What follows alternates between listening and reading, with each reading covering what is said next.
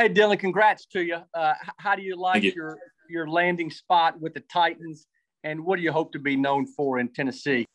Mm-hmm. I love it. Um, I hope I can uh, just come in and contribute to the successful program they already have. I hope to be uh, known. I know Taylor Lewan's kind of the staple lineman there. I listen to his show all the time. I hope I can emulate what he brings to the Titans and just that uh, aggressive style football to that offense line. So, uh, yeah, again, I hope I can go there, fit in. Super happy with this uh, uh, pick for me. Harry. Dillon, uh, can you talk about the jump that it's going to be going from one double A uh, FCS uh, into the NFL, and what do you think that adjustment will be like? Yeah, for sure. Obviously, there's uh, faster, stronger guys, and I've been putting in the work this offseason, been putting in the work since uh, my coaches th- uh, thought I could go to the NFL. So uh, I've been making sure I've been going up against those opponents, and uh, I think I proved myself well at the Senior Bowl. I was able to perform well against those guys, and just continuing to get stronger, get faster uh, against those high level opponents is going to be huge. So just continuing to get better, not thinking that I made it at any point in my career. So doing that, and I think I'll be very successful. John Glennon. Hey, Dillon. Uh, speaking of the Senior Bowl, uh, you know, obviously had a had a great week there. What did you do? You know, because obviously you only played the one game this past season, but what did you do to train for it? And what did you feel like you really excelled at at, at the Senior Bowl? Yeah. Um. So just uh, uh, what I did training, like you said, only one game. So I flew out to California immediately after that game. Went to uh, train with Joe Staley, ex 49ers, uh, future Hall of Famer. So uh, uh, he was super good in my development. He was a huge testament to that. So uh, shout out to him. But uh, yeah, I did that a lot with uh, previous NFL players. I worked with Paul Alexander. He was a previous NFL coach, and so I just worked with a lot of NFL guys to get myself ready. And uh, yeah, like I said, I performed pretty well. I think just being able to bring that nastiness from the FCS, NDSU power style football to the Senior Bowl was a huge benefit to me, and I think it showed. Cool.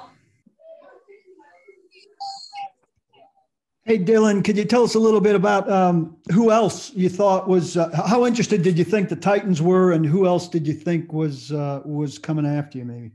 Yeah, there's a lot of teams that showed interest. I, I, sparked a lot of good relationships. It was great to talk to a lot of GMs and coaches. And uh, yeah, I met with uh, GM down at the Senior Bowl. We were talking, talking about Taylor Lewan, talking about Derrick Henry's running style. I mean, uh, built a good relationship down at the Senior Bowl, and uh, through the off or through the more of the off season, I was able to get on a few Zoom calls with them and built a good relationship. And uh, wasn't exactly expecting it to happen where it happened, but uh, was definitely super excited that it did. And uh, uh, Tennessee was always on my radar, and my me and my agent always talked. Uh, they weren't exactly number one, but uh, they're definitely. Uh, I'm happy to be here, so it was a good pick for me. Like I said, Luke. Dillon, what do you think is the next step for you as you continue to develop your game for this transition to the NFL? Mm-hmm. Yeah, I think it's uh, meeting teammates, getting around the offense line, getting the playbook, uh, getting around the offense coordinator, getting to know the whole team, the organization, and then uh, uh, just putting my nose to the grindstone and grinding out and getting ready for this upcoming season because uh, uh, I'm definitely going to want to be thrown in that starting five. That's just competitor in me, and if not, I want to help this team win a lot of games. So uh, just getting into the organization is going to be the next step. How have you tried to uh, keep in shape and keep in rhythm after only playing one game last year because of COVID? Yeah, for sure. It's hard. Uh, thank goodness I had the Senior Bowl to help me uh, stay in football shape. Uh, we always say that. I mean, you, can always condition, you can always lift weights, stuff like that, but there's something different about hitting guys. Uh, so uh, being able to just hit pads, uh, being able to train with other offensive linemen, they understand the physicality of the game. So having them hold pads for you and stuff. So uh, it, has been difficult, but at the same time, I think I did a good job at it. Things showed at the Senior Bowl, and uh, we'll continue to do that through OTAs and rookie minicamp. Teresa. Dillon, uh, eh, playing at NDSU, what is your strength? Do you are you a better run blocker, pass mm. blocker? And you know, you mentioned uh, talking about uh, Derrick Henry's running style. Mm. Uh, what's how excited are you at the prospect of helping block for uh, the NFL rushing leader? Mm-hmm. Yeah, for sure. Um, so I think both uh, both my games are gonna uh, transition really well to the NFL. Uh, we are a power run scheme at NDSU, so being able to run block, I'm able to come off the ball. Uh, and then we had Trey Lance, obviously, so we let him air it out a few times. So uh, uh, obviously past Broccoli, and uh, there's always going to be things to work on. But I, I feel like that'll transition really well. And then yeah, like you said, uh, blocking for Derrick Henry, that's going to be awesome. Uh, I mean, he got the 2,000 yards last year, and I listened to Taylor the Lewan's podcast and stuff. They're always trying to get him to break that record. And uh, yeah, whatever I can do to contribute to help him get that. I mean, he's an awesome running back. Uh, it's going to be an awesome offensive line, and just uh, excited to contribute. Aaron. Yeah, Dillon, you, you mentioned the things that you were able to do at North Dakota State and why it will translate well. And you also say that you want to be in that starting five. Obviously, right tackle is a position. You played a lot of left what is it about your ability to transfer to, to the other side? And what type of challenges do you think that presents for you? Yeah uh, obviously i played a lot of my career at left tackle so just switching over that'll probably be the first challenge. I've been working on it in the off season uh, doing drills and stuff with the right tackle uh, if that is the position they want me to be at um, so I've been working on both sides of the ball, switching up my stance like that. So that is probably the biggest challenge. And then, uh, yeah, just uh, making sure everything you're dotting your I's and uh, crossing your T's when you switch over, making sure the play calls are right, stuff like that. And uh, uh, as long as you do, uh, I have I do that well, and then follow what the coaching staff tells me to do. I, I think there would be no problem in the transition. And then with you not coming from a Power Five school, that's one of the first things people say. Oh, North Dakota State, what the heck? But talk a little bit about just the, the style of play and, and how good that football is that you guys played mm. in that conference. Yeah, for sure. I mean, it's a pro style offense. Obviously, yes, we're a heavy run team. Uh, we love to run power football. We do a little outside zone, inside zone when we need to, but uh, uh, we run everything under the sun there. Um, I, have I've run all kinds of plays, split protection, all this stuff called Mike ID. So uh, I, I, have no problem about transitioning into a, a next level offense. Um, but uh, yeah, just being able to do that at NDSU, I think that's why we produce a lot of uh, NFL players, or are starting to produce a lot of NFL players, especially with quarterbacks. And we produce two other offensive linemen. So uh, uh yeah, there's a jump in skill, but other than that, uh, mental wise and just uh, running an offense like that, I think it'll transition really well. Lemon. Yeah, uh, Dillon, um, I, I, don't know how familiar you are with the personnel on the Titans offensive line, but uh, you know they, have got some guys, you know, who are, are going to compete also at the right tackle spot. I mean, mm-hmm. would it be a, a, a? I know you said you're competitive and you want to be in that starting five, but if you don't end up there, mm-hmm. you know, is it a good situation for maybe you to transition uh, into the NFL that first year and, and maybe to learn some things and, and to strengthen as well? For sure. First and foremost, like you said, I'm always going to want to start. Uh, uh, I'm not going to speak it into existence that I won't be, but uh, like you said, if that if that for some reason happens, uh, I'm always going to be competitive. I'm always going to want teams to win. I'm always going to want my team to win. So I'll push the guys in front of me uh, and make sure they're on their p's and q's uh, about that. So uh, yeah, it's going to be a, a, competitive atmosphere. We'll get after each other. I'm sure. I'll get pushed around a lot. I'm sure they'll get pushed around, whatever it may be. But uh, ultimately uh, the team's trying to win a lot of games. So whatever we can do to do that, I'm sure that'll be the end uh, goal at the end of the day. Paul. Are you familiar with the Isaiah Wilson story here and how the Titans came to need a right tackle? Uh, yes, I'm familiar with what happened. Very unfortunate circumstances. Jim. Hey, Dillon, you, you talked a little bit about Taylor. Uh, what do you see when you watch him play? You talked about wanting to emulate him. What do you like about his game? And, mm-hmm. and what do you see when you watch the Titans play football as far as what their guys do up front?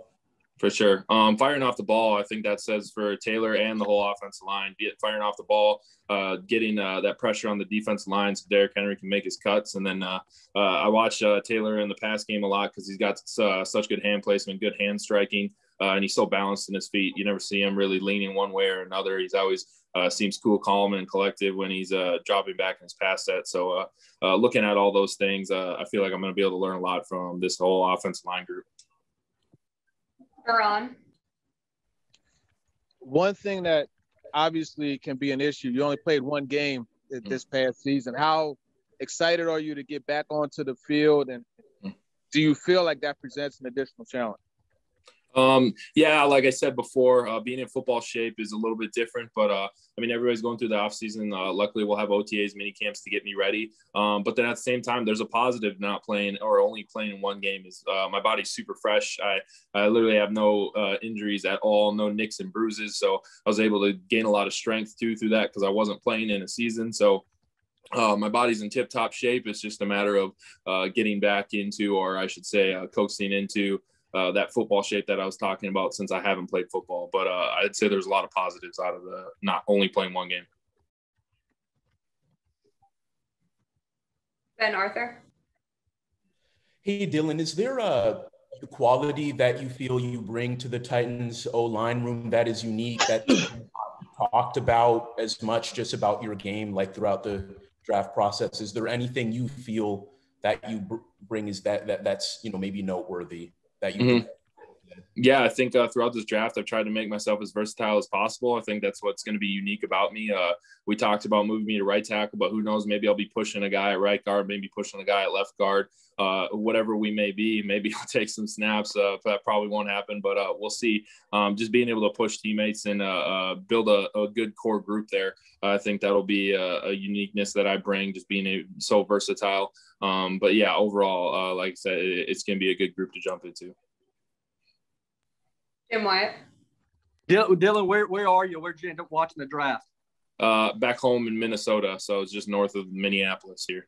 What uh, what was draft? What was this night like for you? What did you have a party where you are, and what was kind of the reaction after your name was called? Uh, it was crazy. It was a crazy night. It was fun to watch. I trained with a lot of the guys that got drafted tonight, and just uh, congratulating them as they went. And uh, uh, yeah, I just have a little get together with my immediate family, and I saw the phone ring uh, from the Tennessee area code, and it said Tennessee on it, and I was like, "Well, guys, I guess I'm going to be a Titan." And everybody's like, "Wait, what?" And then I was like, "Yeah, they're calling me right now." And so uh, uh it was good. Tears were shed, tears of joy, and uh, lots of hugs are given around. This is a moment my family's been waiting for for a long time. So uh, as this very exciting process, I'm super happy to be where I'm at. And what did they tell you when you answered the phone? I mean, did you talk to John? Did you talk to Mike? And did they have any first words for you? Yeah, I talked to John. He's like, "Hey, hey, how's it going?" I was like, "It's going well. How are you?" And uh, he's like, uh, "We're gonna make you a Titan with this uh, next pick." And I was just like, "Oh my gosh!" Uh, trying to hold back tears as I talked to him, and then I talked to Mike too, and he was saying congratulations, all that stuff, and uh, getting uh, getting me down there and all that stuff. So it's all good things. It was a great conversation. Can't wait to get down there. Two more, Luke.